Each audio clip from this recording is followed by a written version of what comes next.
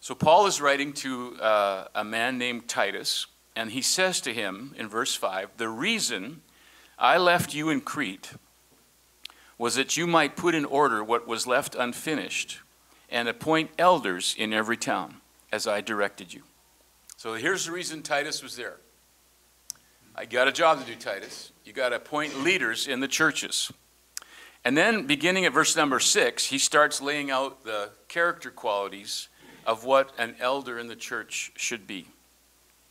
An elder must be blameless, faithful to his wife, a man whose children believe and are not open to the charge of being wild and disobedient.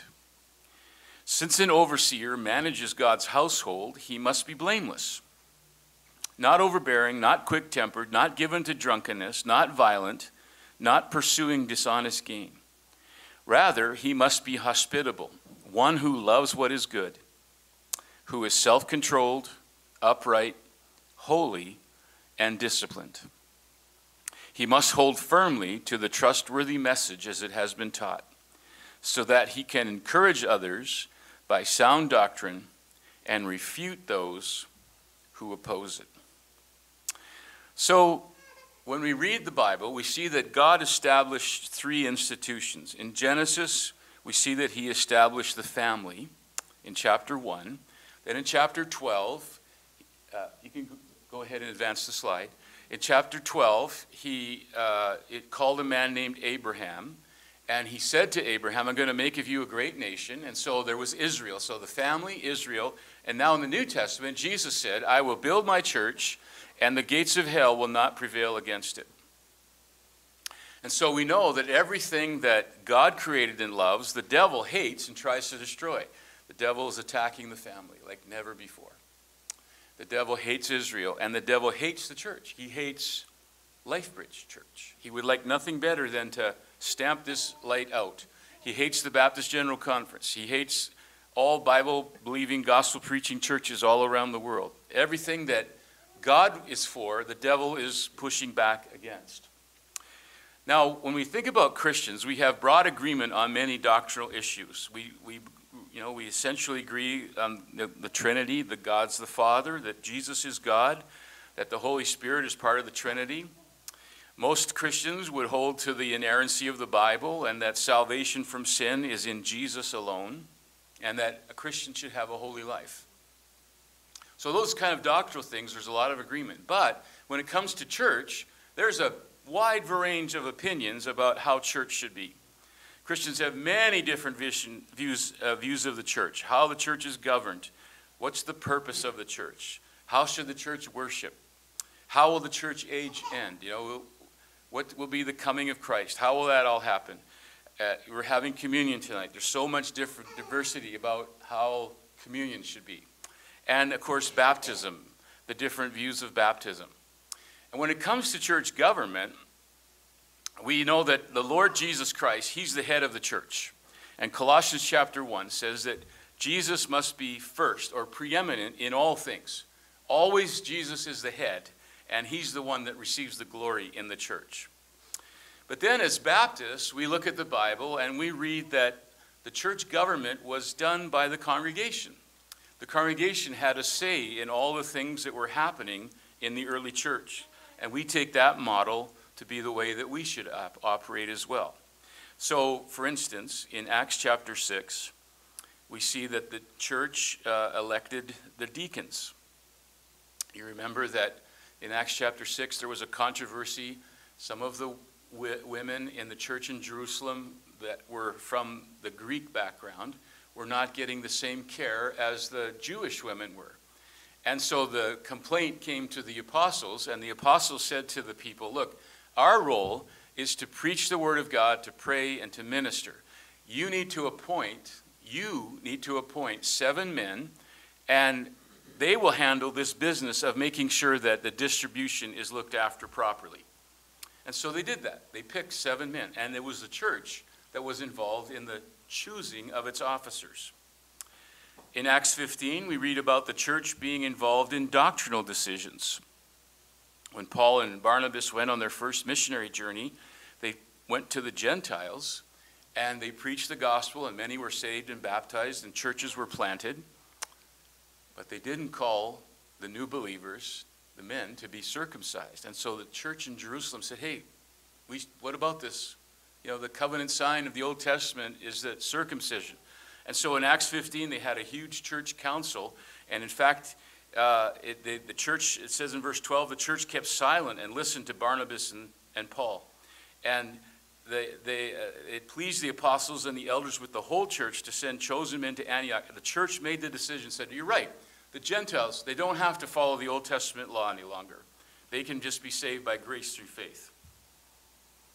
The church we see is involved in the correction of its members. In Matthew 18, Jesus said, you know, if somebody has a controversy, a conflict, they should go one to one. And if that can't get resolved, then they should bring two other people to listen uh, to the discussion. And if that still doesn't get it resolved, then the issue should come to the whole church. And if that still doesn't get it resolved, the person that is refusing to repent and humble himself, person that's refusing to, to obey, should be put out of the church and treated in a different way, treated like a, a publican, a, a tax collector. And of course, how do we treat them? Well, they, we love them and we pray for them and we want them to be saved and to come back. We don't cast them out and kick them in, in the back and say, get out of here, we never want to see you again. No, it's, it's very much to pray and, and seek reconciliation. But you see how the church was involved when the members needed correction. And then, of course, we know uh, from Acts 13 and 14 that Paul and Barnabas were sent out by the church in Antioch, and they went and did their ministry, their, their, their mission ministry. And then, uh, when uh, they, it says at the end of chapter 14, finally, they returned by ship to Antioch where their journey had begun. The believers there had entrusted them to the grace of God to do the work they had now completed. Upon arriving in Antioch, they called the church together and reported everything God had done through them and how he'd opened the door of faith to the Gentiles too.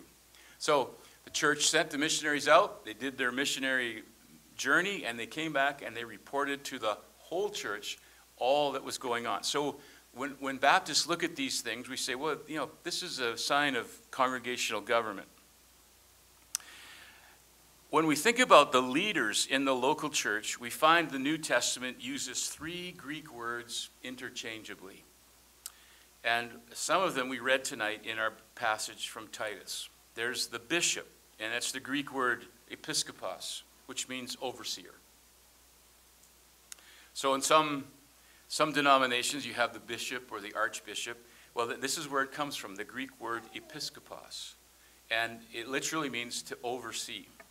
The second word that is used is also the word that we read tonight in our text from Titus, elder.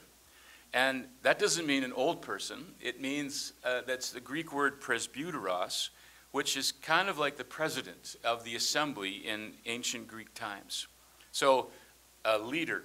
So, the bishop is overseeing, the elder is uh, presiding or the president over the assembly, and then the pastor, the more common word that we use in the Baptist church, is the Greek word poimen, and that means shepherd. And so, your pastor shepherds you. He protects you. He calls you back from the edge of the cliff and says, Hey, watch your life, watch what's going on. He protects the sheep from the wolf that's trying to come in.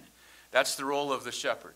And so these three Greek words are often used interchangeably to talk about the same person. So let me, let me show you a couple of examples of this. Here's one from Acts chapter 20, and then we'll look at the one that we were just looking at in Titus. In Acts chapter 20, verse 17, the Apostle Paul comes to an island off the coast of Ephesus. He stops in the island of Miletus and he called for the elders of the church. He calls for the presbyteros. And look what he says to them in his address to them in verse 28 Take heed to yourselves and to all the flock. So that's the, you know, that's a shepherding part, right? So he's talking to elders, he's calling them to be shepherds, and then he uses the Greek word episkopos among which the Holy Spirit has made you overseers, episkopoi, in the, in the plural. Uh, and he, so this, this word overseer is the same word that comes here from the word episkopos. And it means that you are now overseeing. So he's talking to the elders, He's saying that you have the role of the overseer. And then he says, oh, poimen, to shepherd the church of God, to poimen the church of God. So you see how all three of these words are used interchangeably to talk about, he's, he's talking to the same group of people. He's not saying, here's the elders, here's the uh, uh, bishops, and here's the pastors. He's talking to them all together. He called for the elders to come to visit him on the island, and he's giving them, and he's saying, You are overseers, you are shepherds, you are uh, uh, presbyteros, you're presiding, and you have this role. Now, in our text that we just read a moment ago, uh, Paul says to Titus, I want you to appoint elders in every city. And then he goes on, he says, and they are overseers as well. So they're, they're, they're elders and overseers, but it's the same, the same person or the same uh, type of person. Okay, so let's come back to our text now in Titus chapter 1. And the first thing that we need to talk about it when we're, and, and, and your pastor asked me to teach on this, what, are, what, are the, what does the Bible say are the biblical requirements for a person's life to be considered, to be considered for an elder? And so we often talk about character, competence, and chemistry. So, for a good team to be uh, functioning well, you need people of good character, have competence in their skill set, and then chemistry. Can they all work together? Can they re- be relational? Can they, can they do things well together as a team? And so, the list in this passage here in Titus chapter 1 means that God has special qualifications for leaders in the church. Leaders should not be chosen at random or just because they volunteer or because they aspire or desire the position or even because they are natural leaders. Leaders should be chosen because they match the qualifications listed here in Titus 1. It's fine if a man thinks he is called, yet he must also be qualified. You know, in my role as national leader, sometimes I get pulled into some real deep meetings when there's problems in the church. And I talked earlier about how we want to have healthy churches. And, you know, when the pastor and the board are not, uh, there's not a healthy relationship between the two. The pastor is one of the elders, as we looked at at our text here. But there's other elders who are in the church, and there needs to be that good chemistry, that good working together. And oftentimes I get called in when it's, uh, you know, the, my, the joke is about my role. It's you're either cutting the ribbon, you're celebrating something, or you're putting out the fire, right? Those are the two reasons you show up. Uh, is that you're celebrating or you're, uh, you're the fireman. And so oftentimes when I come to these kind of meetings, I'm the fireman that's there to try to put out the fire before the whole church gets engulfed by the issues that are happening at the board level. If the church had been more patient, more cautious, more discerning in who they put into these elder roles, some of the issues that I've dealt with would not ever have happened. But when somebody is put into a role, they're too young, they're too new in their faith, they're, they're kind of got some pride about being an elder, they've got all these things that are going on. When that happens, then very quickly uh, the chemistry of the elder team can be uh, moved in the wrong direction. So the qualification for leadership in Titus 1 has nothing to do with their gifting. Every one of us has a spiritual gift. But that's not what Paul is referring to here. We're going to look at them in a moment. He didn't say to Titus, find the most gifted guys. Character. Developing character takes time and a real relationship with Jesus Christ. Going to seminary doesn't make one qualified for spiritual leadership. I'm a seminary president. I want everybody to consider going to seminary. But just because you go to seminary doesn't mean that you are a good spiritual leader. And being a good speaker or successful in business doesn't make you qualified either. What qualifies a man for spiritual leadership is godly character. And godly a character is what Paul is describing here in his list of things. Now, let, me say one other thing before we begin the list. This is not a rigid list which demands perfection in all areas. It's like goals to work towards and general criteria for selection. We should take this list and ask Does the man that we're thinking about making an elder, Does the man desire all these things on his list with his whole heart? Does that desire show itself in his life? Paul gave this list to Titus so that he would take the list around the island of Crete and find men who best fit the description and then use the list as a training guide to disciple these men. And let me say also that these qualifications are valuable for every Christian male, female, leader, non leader. It's not just for those who aspire to leadership. These are clear indicators of godly character and spiritual maturity, and they can give a true measure of a person. So let's look at what Paul writes here in our, uh, in our text. Titus chapter 1. An elder must be, first of all, the reputation, they must be blameless. That word blameless comes from the Greek, which means nothing to take hold upon. So, in the eyes of the church community and in the eyes of the larger community, does this person that you're considering for an elder have a blameless reputation? Not perfect, nobody's perfect, but blameless. Is there nothing that can be taken hold on in their life and said, you know, this, this person should not be a spiritual leader. They've got a gambling problem, or they're, you know, they, they, have got some other character flaw.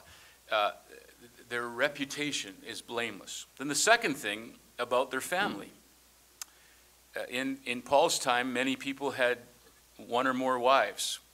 And so Paul is advocating here, I think he's advocating for uh, not multiple wives, not a polygamist, faithful to his wife, a man whose children believe and are not open to the charge of being wild and disobedient.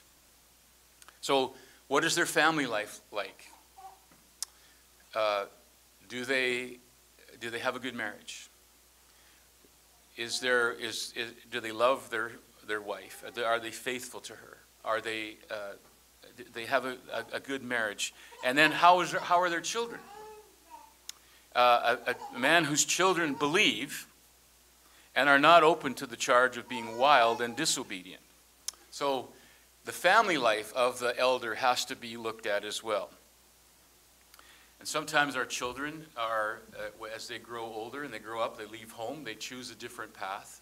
But as long as they were in the home, how were they raised? What was the example that was given to them? What was the way that their lives were molded in their formative years? The third thing Paul talks about is their lifestyle. The elder that you're considering should not be overbearing, you know, not uh, harsh on people, not quick tempered. You know, they've got their anger and their temper in check, not given to drunkenness. They're not living a, a, a, a drunken lifestyle. They're not violent. And they're not pursuing dishonest gain. Wow, their lifestyle. You see, what Paul is calling here is wow, this is something that you have to take the measure of the person. And you look at these things that are written here in Titus, and again, as I mentioned earlier, we're not looking for perfection, but is the person aspiring to these things? Another thing Paul mentions here is they got to be loving. Rather, they must be, he must be hospitable, one who loves what is good, one who is self controlled, upright, holy, disciplined. You see, these uh, character qualities here are all very important for when you're choosing an elder. It's not talking about necessarily someone who's a good speaker or good in business or uh, popular. It's what's their character like. And one who loves what is good. That's, the, to me, the thing that stands out the most in this list.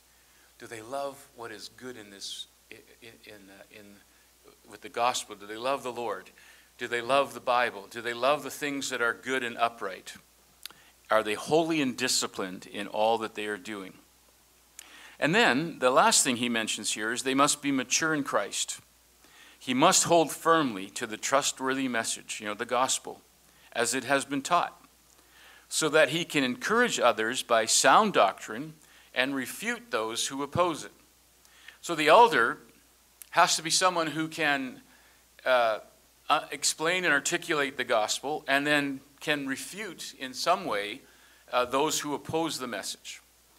So Paul is laying, laying out this list of things here. Now remember, he's talking to Titus, and Paul had been on Crete and had started uh, uh, ministry there.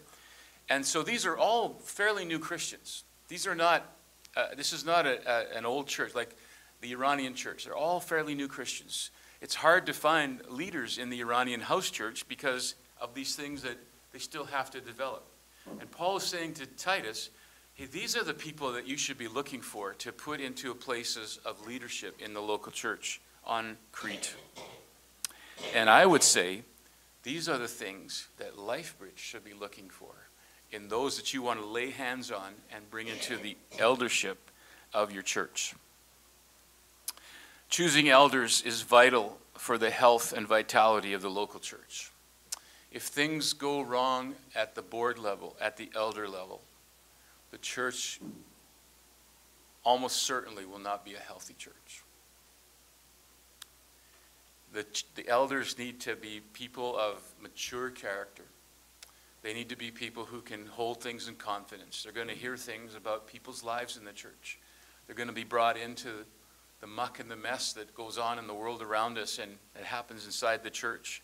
They're going to have to be people that can handle that and, and, and not be uh, fearful and, and not be immature about how they deal with the issues. They're going to have to be people of faith people who can really make good decisions. And, you know, uh, a lot of church boards are uh, very good people, but they're just not willing to take a chance, take a risk. Don't want to do anything. Don't want to step up by faith. Got to make sure all the money's there before we do anything. You know, that's not how God works. God, God calls us to step out on faith sometimes, and the elder board has to do that. And so these are the people that you need to be praying for that God will raise up at LifeBridge. I know you've got some great leaders here already, and your pastor asked me to speak on this passage to, uh, as you were thinking about future leaders and thinking about future uh, people to fill this role, to take this passage and make it not a popularity contest, not a, not a, uh, you know, a, uh, you're my friend, so I'm going to vote for you, but to really choose wisely. And if you use the qualifications that Paul wrote to Titus to guide your decisions, LifeBridge will be blessed. Because when the leadership is together praying and walking together in unity, and there's good godly character, there's competence, and then there's chemistry going together, the church will thrive. And the church will move forward with such uh, unity and such beauty uh, and it all starts when the local church makes right decisions at this point, at this moment. This is when uh, the future of the church is set by the people that are chosen to sit around that table. Let me pray with you.